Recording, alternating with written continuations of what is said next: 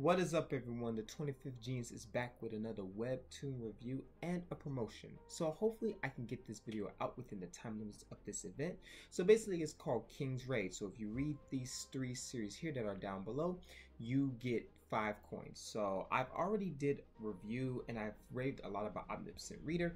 If you're not checking this webtoon out, you are sleeping. It is amazing and it's done by the same creators that made Solo Leveling. So you know it's gotta be a masterpiece work of art.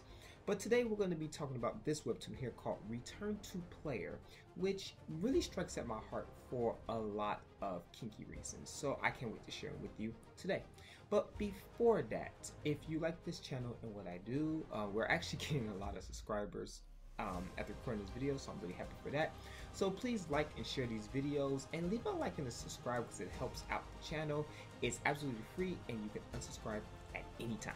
With that being said, let's get into the review. So Return to Player, what is it about? Return to Player focuses on this guy by the name of Sehun Kim. And he is the sole survivor of a life and death game that took place 10 years ago. Being the only low survivor, losing his loved ones, and basically with nothing else to do, he's given one opportunity by the mods of the game to go back to the day that everything happened 10 years ago to hopefully re-correct uh, the apocalypse of the world. Being that he has nothing better else, so I mean, you know, he's the only one there. I mean, you know, he, he only has himself in his hand.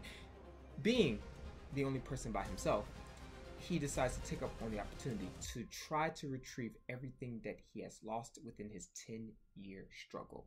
So, armed with all the abilities of the monsters and the weapon tree, and also some kinks and some perks, as if he was a mod of a game, he will use all these abilities and what he knows in order to defeat the game masters at their own game. Will he do it? Will he succeed? Who knows? Oh, I should probably mention this. This is a spoiler alert, by the way. I'm sorry. Here it goes. The girl that he saves, his soon-to-be girlfriend, is actually extremely overpowered. I I don't know why I'm adding this in this review, but I just was amazed when I saw it, so I thought I just should share. What I like about this webtoon is kind of the precedent that it sets. And I've started noticing this a lot with the current trend of webtoons. And you know, you see it in stuff like The Gamer, omniscient Reader, Hardcore Leveling Warrior, even Solo Leveling, if you will, and a myriad of other webtoons. If in the anime community you would consider isekai to kind of be like that popular, ever-expanding trend that doesn't seem to get old, and I feel like what's going on in the webtoon community is this this transfer to another world, and it's a game which you can level up and gain a lot of awesome skills. Which honestly, I'm not opposed to the, the idea of. See, the reason why isekai works so well is because it's based on the on the author's mind. And the power of the imagination is infinite.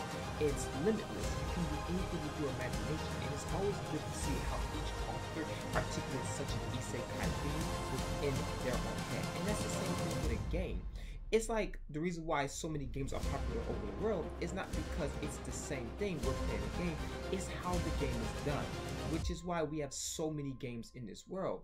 And that's kind of what's going on with webtoons like Return to Player and Omnipotent Reader. Whereas, like, yes, we know it's a game and it's kind of the same cliche, you know, apocalypse, and you get transferred to a game in which you have to level up and, you know, build your stats. But it's every game is different every webcomic is different and every isekai is different and that's basically kind of my point where it's so different and very unique that it's always good to see how each webtoon or each type of plot story is going to be different from the next. Also too as people who read webtoons you probably like games. You probably like um, isekai, you probably like fantasy worlds like that. So, as an avid game lover who never gets bored playing different games, it's good to see how authors articulate different types of apocalyptic games within their webtoons. And to an extent, a lot of people want to play that game. They want to be in that world. They want to have powers that never they could never have in the real world.